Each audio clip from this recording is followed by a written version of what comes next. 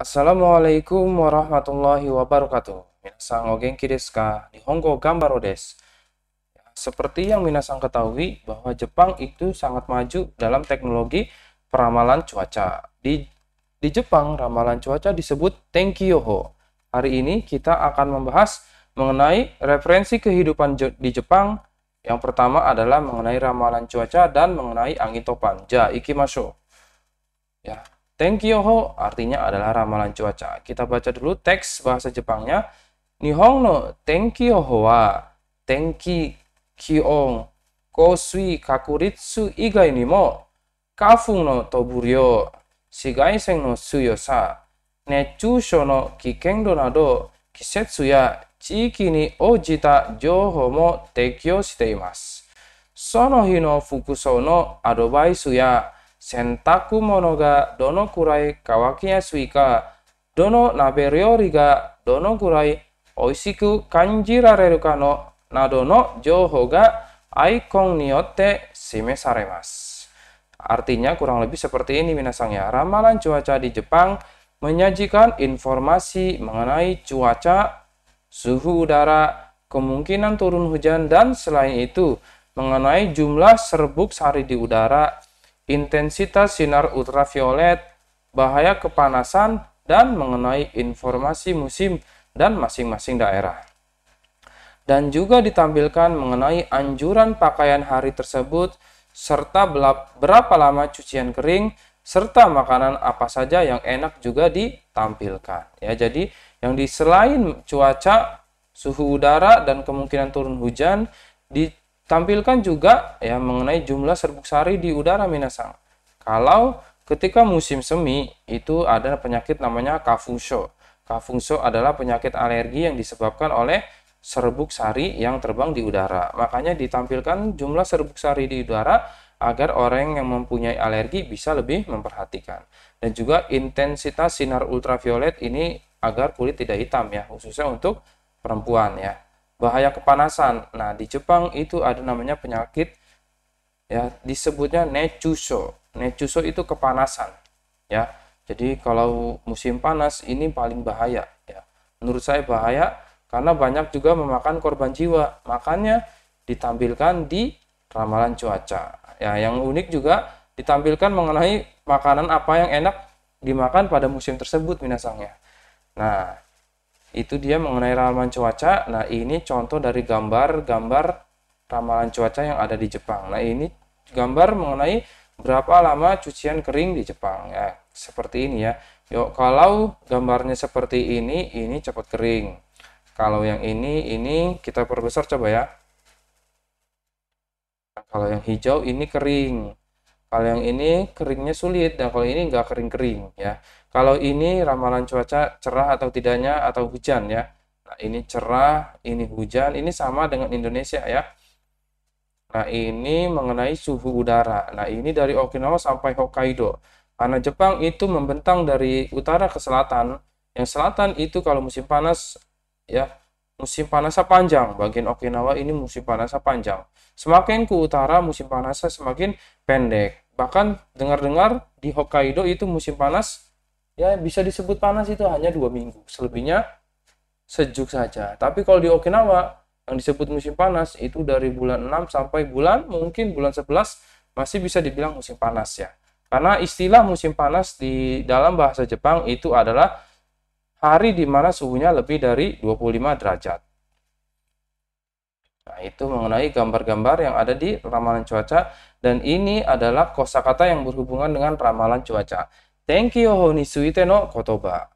Yang pertama hare artinya cerah, yang kedua kumori artinya mendung, ame hujan, yuki salju, hare nochi kumori.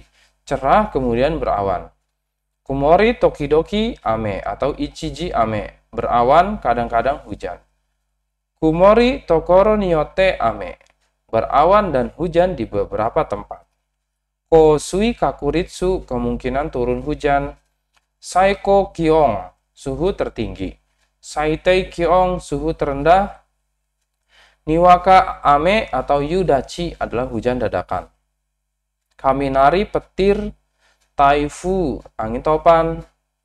Niji pelangi, Kaze angin, Kumo awan, Shitsudo kelembaban, dan Musi Atsui panas lembab. Jadi, ciri-ciri musim panas di Jepang itu adalah musim panas yang panas dan lembab. Oke, sekarang kita lanjut ke angin topan. Ya, angin topan ini merupakan hal yang tahunan bencana tahunan yang datang di Jepang ya. Dalam satu tahun kemungkinan bisa sampai 20 ya 20 kali angin topan datang. Rentang waktunya adalah dari musim musim mungkin musim 4, musim bulan 4 ya. Dari bulan 4 itu jarang, tapi musim to angin topan paling banyak itu dari bulan 6 dan paling terakhir itu bulan bulan 12 pernah terjadi tapi ya kekuatannya hanya kecil yaitu sekitar tahun 2017 kalau nggak salah minasang ya kita lihat angin topan bahasa Jepangnya adalah taifu taifu wa nihong no minami no kaijo de hassei Hatatsu suru netai tei kiatsu de. Omoni natsukara akini kakete. Nah, di sini lihat misalnya dari bulan dari musim panas sampai musim gugur. Nihong ni seking joriku shimasu. Hijou suyoi kaze. O ame ni yori o kinahi gai ga deru kotomo arimas. Suyoi taifu ga seking suru toki wa kotsuki kanga tomatari. Gakko ya kaisha ga yasumi ni natari shimasu. 台風の時には外出を控え、テレビやネットの台風情報に注意しましょう。近年、ネットの掲示板や SNS を通じて、台風の時にコロッケを食べるという現象が広まっています。台風の時にはコロッケの売り上げが上がり、中にはコロッケが売り切れになる店もあるそうです。Ya, kurang lebih artinya seperti ini. Angin topan adalah angin siklon tropis yang timbul di Laut Jepang bagian selatan. Ya, jadi angin topan itu dari sini munculnya minasangnya dari bagian selatan, mungkin sejajar dengan Filipina. Terkadang Filipina pun terkena angin topan yang cukup besar. Timbul dan mendekat ke dataran Jepang sekitar musim panas ya Natsu sampai musim gugur Aki. Ya, musim panas itu berarti dimulai sekitar bulan 5 sampai bulan 11 ya Bu Aki. Angin yang sangat kencang dan dapat menyebabkan hujan yang besar serta menimbulkan kerusakan yang besar ya. Memang kalau taifu datang dan taifunya itu besar, kerusakannya itu cukup parah minasang ya.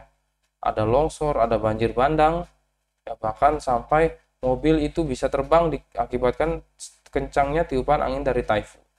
Terkadang ketika angin topan mendekat, transportasi publik dan sekolah serta perusahaan libur.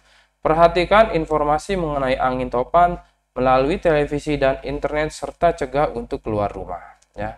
Nah ini contohnya Taifuni Jugo. Jadi taifu di Jepang penamaannya berdasarkan angka bukan berdasarkan huruf.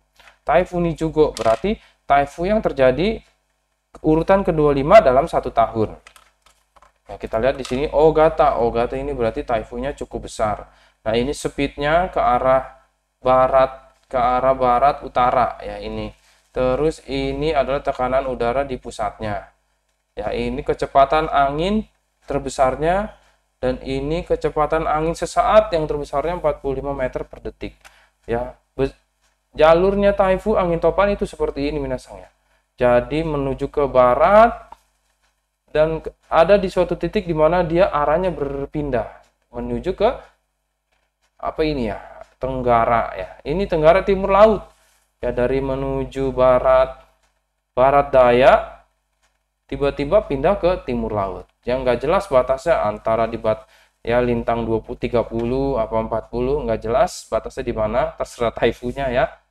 Nah, ini dia kadang jatuhnya dari sini dari Okinawa begini ya. Terus kadang sampai lurus nggak belok sampai ke Cina sampai Korea. Terkadang pernah terjadi saya mengalami taifu itu dari Okinawa datang ini taifu cukup besar ya muter begini kembali lagi ke Okinawa. Jadi satu taifu kena kembali ke Okinawa sebanyak dua kali.